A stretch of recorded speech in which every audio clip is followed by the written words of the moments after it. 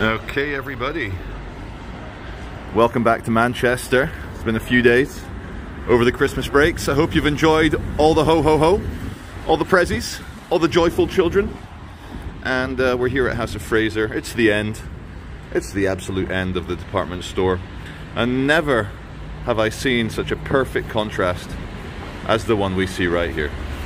Okay, it's the view along Deansgate, probably the busiest uh, kind of party and uh, retail uh, place in Manchester, in the city centre. One of the busiest, shall I say.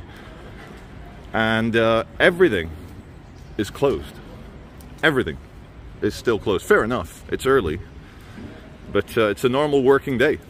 It's uh, Wednesday, the 29th of December. It's not a bank holiday. It's not a Boxing Day. It's not a New Year's Eve. It's not even a New Year's Day and I've seen maybe seven people since I got here. Okay guys, welcome to the arcade. A nice Victorian structure. This is when glass became cheap. In the mid 1800s, uh, they started using glass for a lot more. Very reminiscent of Alexandra Palace, uh, Kew Gardens, the Botanics in, in London. And uh, again, you can just feel the optimism. The Jules Vernian the Phileas Fogg, the Victorian gentleman. You just feel the optimism for the future, a belief in industry, a belief in uh, travel, education, Queen and Country, or God and Country. No, it would have been Queen and Country, of course, Victorian. Duh, Charlie. well, there you go. You guys remember that time? It was like, they're like, yeah, China, like, it's like, oh, oh, oh, and they're like, two weeks, man, just, just two weeks, we'll, we'll flatten it. We'll get your kids back in school. No, no, no lockdown, just two weeks to flatten the curve. It'll be absolutely fine. You get your jibby jabby. Vaccine McFry. Vaccine McFry. Arbeit macht frei. Doors of Treblinka. Damn. There's uh, HSBC taking the uh, Manchester Bee insectoid slave serve the Queen. You are a drone propaganda to its uh, natural conclusion where we're literally just showing beehives. There you go, beehive. All right, well, uh, I reckon I had uh, River Delta, I had a Nile Delta followed by Optimus Prime variant in quick succession, maybe between six to eight weeks apart. Kind of like a standard winter, really. Alrighty, we're back on Market Street, heading up towards Cracky Gardens, the Cracky Triangle, also known as Piccadilly Gardens. Well, the uh, oh god, copyrighted music. Let's run. Um, all the Christmas markets are gone. There's queues, queues for public services again. No public queues for the bank. Hey, Merry Christmas, man. How are you? Yeah, yeah. Sorry? good Very good one. It's my first day back out since uh, Christmas Eve. Yeah. Fresh things. Fresh things. Yeah, man. Take it easy. All the best. See you, dude. So yeah, as I was saying, uh, most of the Christmas things are gone. Totally gone. As you can see, a clear Market Street. Look at that. Okay, I've just missed the shot, but the group of uh, young uh, Middle Eastern men have just been uh, told to put their face masks on. Can't believe it's uh, still strict when I believe politically, politically this pandemic is over.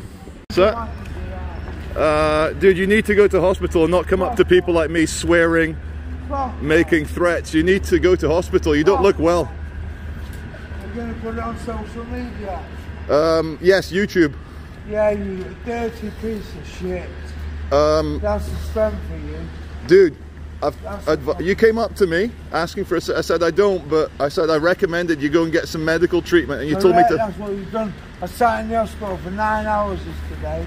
Well, dude, okay, well, some more advice. Sort your life out. I don't want no more advice off you. Sort your life out. Stop getting into fights. Off. Stop getting into fights. I, I fell. I was nose to fight. I fell. Uh, judging by your aggressive demeanor, it's probably a fight. Go on, fuck off. All right, dude. Merry Christmas. okay, it's always good to tell you what happened off camera. I wasn't filming. I was walking along the top of Piccadilly Gardens, and you go, "Excuse me, excuse me, can you help me?" And I said to him, sorry, I, I can't give you any money. Um, and he goes, no, no, no, I'm not after money. I'm after a cigarette. And I'm just looking at him and he's all cut up and bleeding. And I said, dude, I don't think you need a cigarette. You need to go phone an ambulance, get yourself to hospital, get some medical treatment. And then he kind of looks down, he kind of looks at me, he goes, you know what you can do? You can go fuck off. And I start filming.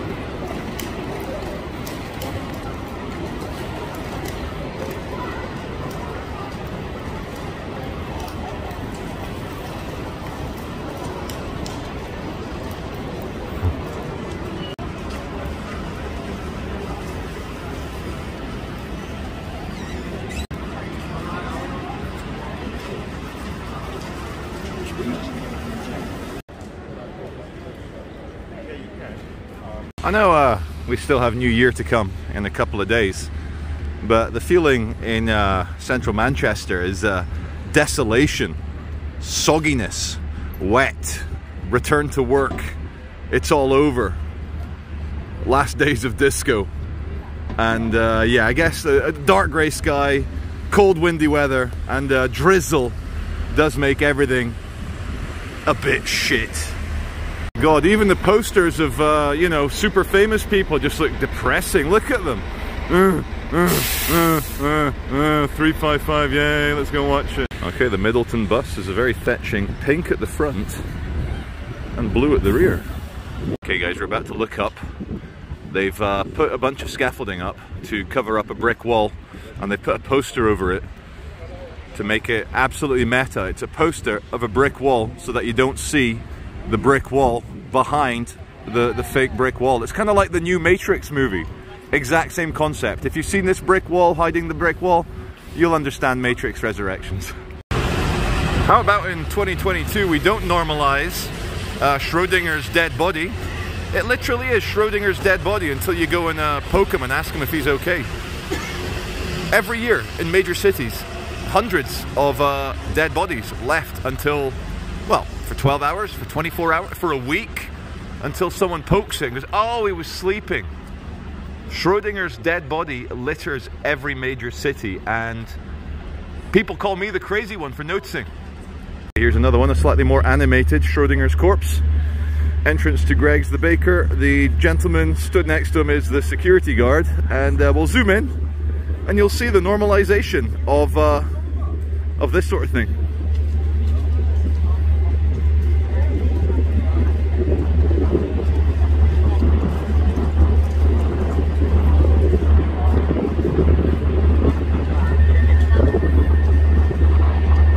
Just had a chuckle, a self chuckle, a wholesome chuckle to myself. You know, like you go into a shop, shops everywhere, and uh, they're like, "Excuse me, sir, have you got your face mask?" Blah blah blah.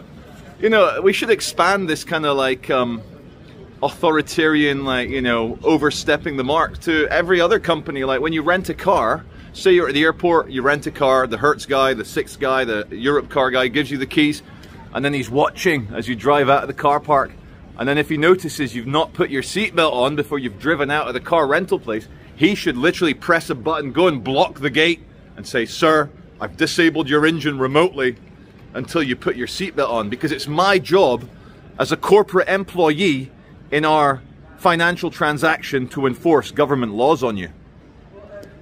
Okay, uh, very interesting uh, result of surviving uh, the coof is that uh, I don't know. I look at people and um, I see a lot of uncanny valley issues. For those of you who are not into video games, don't know what uncanny valley is, it's an issue in video game development, especially in graphical representations of humans, is that as video game graphics get better, 8-bit, 16-bit, 32-bit, 64-bit, Xbox, PlayStation, yada yada yada, as it gets better and better, and they try and make more and more realistic looking animated humans, the uncanny valley is the name we give to that feeling of anxiety we have in our souls when we see something that should be human, is kind of moving like a human, kind of looks like a human, but we can just tell that thing is not a human being. And I suffer a kind of um, computational uncanny valley or moral uncanny valley in that most people that I see, that I walk around, that I interact with, that I get annoyed by on public transport, in the city centre, doing bad actions, bad habits. I get so angry. It's my problem. Not going to pass it on to my viewers, but I get so mad at human beings who should be decent, moral, friendly, kind, altruistic, yet they act almost like chimpanzees. Angry, bitter, you know, making the world worse. Ugh. Shiny. I'd rather be nice and shiny. Okay guys, we're in the northern quarter. Uh, the time is 11.11. Mr. Beardmore Barbershop, love it, love it. Uh, perfect time, 11.11 for a wide angle walk around. Uh, in the street that uh, we've not walked down very often on the Charles Veitch channel. Um, when I, just very randomly, when I review my videos, I uh, often catch myself saying, why am I talking like that? And um, my children, they say, Dad, you have a YouTube voice. And I think it's, uh, I want to be understood. I want to speak clearly and uh, enunciate and, uh, you know, pronounce the words correctly. I also really enjoy when the automatic captions, the uh, voice recognition that YouTube uses, gives me very accurate subtitles. And um, is that Andy Warhol in the middle? Probably. Is that Basquiat? Basquiat! Basquiat. Basically, boys who do boys, who do girls like their boys, who do girls like their boys, who do boys like their girls, always should be Nikola Tesla as a dog. Oh yeah, and the last reason I, I speak really clearly and I pronounce my words succinctly is that I have a, a, large international audience. For a lot of them, English is not the first language, and uh, they should be able to enjoy the uh, Anglo videos I make without too much colloquial vernacular. I'm gonna cut soon, guys. Don't worry. We're gonna cut soon. And like you know, there's uh, when I bump into other TV crews and I say, "Oh, what outfit you guys with?" They're like, "Oh, we're ITV." Or I bump into like vloggers, vloggers with like half a million or a million subscribers, and they look at me with my mobile phone and they say, "Charlie, why don't you get a?" Right, Dale Street. Thanks, bus. That ruined my reveal. But anyway, Scream's coming out. Oh my god. Look at the fusion of the old architecture with the modern architecture. There's a very, very um, neo-Gothic modernist feel to these long rusty bits of metal going up to the roof. No, don't zoom in that much. 20 times is a bit much, Charlie. Come down to two times. There you go. So do we think that will be better than 2021? Well, well, let's get a fucking rant on. In the words of the oracle at Delphi, either King Leonidas will fall or Greece will fall.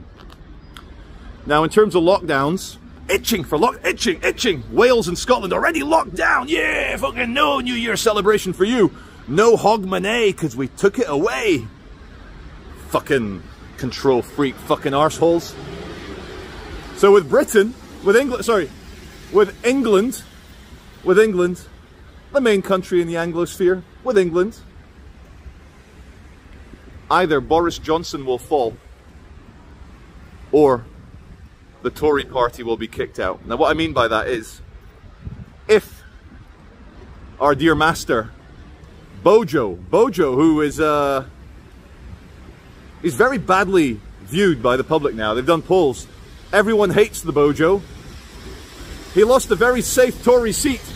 So either Boris Johnson will fall or the Tory party will fall and then Britain might fall. if they bring in a political lockdown, and it is political, the Optimus Prime variant is so transmissible, it's almost as if everyone has an Optimus Prime receptor Nextly, before my video cut out, the Optimus Prime variant is so transmissible that it's as if it was inside all of us to begin with. Traffic warden, you're never more than five meters away from an authority figure in the UK. Or a, a camera. In fact, I'm about a meter and a half from a camera. Look. So, everyone's going to get Optimus Prime. Everyone probably has Optimus Prime already coursing in their body it's so transmissible, 32 mutations. It's not even that similar to the original Wuhan. That was most probably accidentally leaked from a laboratory. I laugh so I don't cry, guys. And then that you do a quiet video, loud buses, but the camera's clever, it'll pick up my voice, it'll say you're doing a vlog. So if Boris Johnson does another lockdown, he's gonna he's gonna lose his um, premiership if the Tories um, agree with the um, control freak, Keir Starmer, Nicola Sturgeon, I don't know who the Welsh ones are. They're probably called Davy, Jonesy, Williams, something like that. They've only got like three or four surnames. Morgan, four surnames in uh, all of Wales. Morgan, Davy, Williams, Jonesy. So, and here's another thing. Look, Venom. Look, they're rehashing old movies. There's no original thought anymore. It's all just rehashing. Again, graffiti. Like, look at this, just rehashing a woman's face. Is she about to remove her cyborg eyeball? I think so. Is she getting a contact lens out? Nah, she's removing her eyeball so that she can get into the minority report areas. Where am I going with this? What I'm going with this is um, fuck lockdown. Fuck anyone that tries to say you can't live your life now. Optimus Prime is God's variant. I'll say that again. Optimus Prime is God's variant. Optimus Prime is God's vaccine. Before you get all excited, oh, he's a, he's a theist, he believes in God, he believes in fairy tales and Sky Daddy. It's just a fucking metaphor. It's just an archetype. It's just a word. It's just a hope. It's just an optimism of the Optimus Prime being God's vaccine. Ah. Cut. Yeah, what do you mean? I've got, I've had my fourth booster, and I have zero side effects. Do you like my uh, stripy jumper? But as I say, that that means it's working. It means it's working. Here's an old one. It says sad, with an image of Trump. Five years ago may as well have been 500 years before Christ.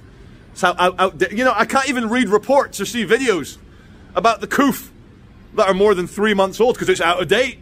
Doesn't make any sense. It's not even the same virus anymore. Oh. So uh, recently I thought I was going to die. I'm not going to go into details.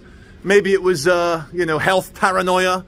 Maybe it was uh, psychological classic paranoia. But I, I, honestly, in the in the last few days, there was a, a half hour period where I thought I was going to die. I always like to show a bit of architecture because I'm insecure. I don't feel that my face and my stories are enough to carry the video. So I always let you have a little look around whilst I'm ranting at you because why not? And get this, yeah. So I, I thought, I, I, honestly, honestly thought there's a good chance I'm about to die. And I was at peace, not like, oh, look how hard I am. Look at what bad. No, I'm not a badass. I'm a fucking coward. Something interesting. I'll, I'll, we'll look at that in a second down there. I'm a coward. Um, I'm weak. I don't have things that other men my age have. I'm a fucking coward. So, I'm not I'm not blowing my own trumpet here. I'm not inflating my ego, but when I thought I was going to die, I felt at peace because um, everyone around me that should know how much I love them and care about them and would sacrifice everything for them, they know that. I was at peace that I was going to die. And uh, as Confucius said, the man who understand who wakes up in the morning understands the Tao in the afternoon can die happily in the evening. Here is Little Lever Street, and this spot here was where I filmed. I got fired from the Skinny magazine. And they did quite well. They tried, the Skinny magazine, it went bust. Ha ha ha, you can't breach the Veitch. Um, they tried to get the video banned because I named some of them in it. But YouTube said no. Absolutely fair enough. and a UPS deliver. Look at that, free plug for UPS. Fuck FedEx, fuck the Royal Mail, go with UPS. You're welcome. anyway, what I was trying to do was to come around here.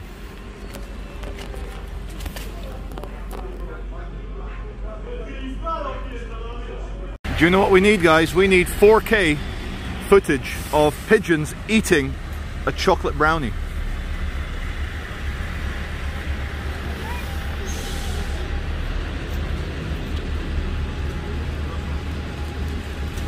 Okay, I get slightly better audio when I don't zoom zoom in too far, but uh, the two people proselytizing, you know, trying to get new adherents for their religion. They're from the uh, World Mission Society Church of God. Here's the, the head honcho. Now, their tactic is to show you a passage from the Bible where it says something like God the Mother, God the Father. Next thing you know, boom, they have a little old lady sat in South Korea saying she is God. And they believe it. Very strange. Has he noticed me now? Has he, has he looked over at his colleague? Yeah, my voice travels. The voice of righteous indignation travels. Now, this is the big problem with a three and a half thousand year old book such as the Tanakh, known as the Old Testament, or a 2,000 year old book known as the New Testament. Sorry, did I say Old Testament the first time around? Yeah, Old Testament and New Testament. Thousands of years old, rehashed, rewritten, regurgitated by very clever people, probably great orators, great thinkers.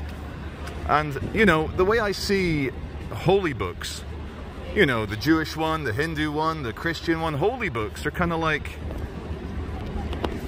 He's filming me, that's amazing. Holy books are kind of like the material of a comedian.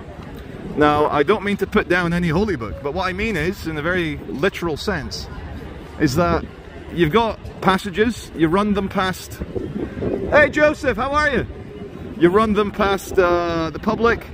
If the public react very emotionally, it stays in. If they don't react at all, it comes out. Here we go, we got camera wars. Hey Joseph, you should forgive me. Are you a YouTuber now, Joseph? Are you gonna you're gonna report me to the, the, the big people in South Korea? Anyway, how's God the Mother doing? Dude, what's the problem? What's the problem, Joseph? What's the problem? Is there a problem?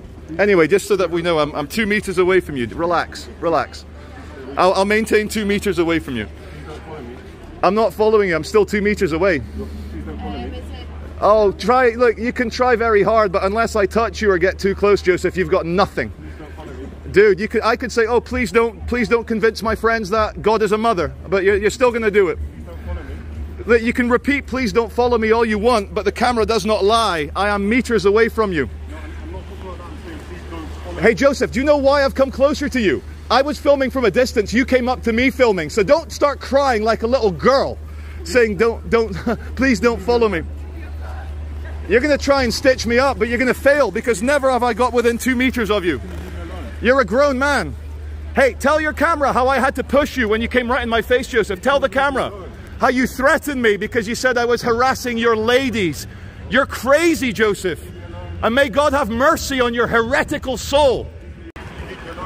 Joseph, say something else other than please. Look, I'm now four meters away from you. I don't think whoever you show the video to is going to believe that you were in any danger. From a YouTuber with 1,300 videos where I've never instigated violence with people. Anyway, look at the milk float. Here's a nice shot. Can you get me a toot toot? Have you got a tutor? Honk honk. Hey, thank you. Merry Christmas. Just in case it wasn't apparent, um, I was filming from 20, 30 meters away. He hears my voice from a distance, comes up to me filming. So I film back. And because in his small, you know, overclocked graphics card, uh, obsolete brain, he thinks, oh, if I say to him, please stop following me, I can stitch him up as harassment. It's all right, Joseph. We've both got videos of that. Go and uh, go and worship the little old lady in uh, South Korea. You are God. You are God. Yes, you are God.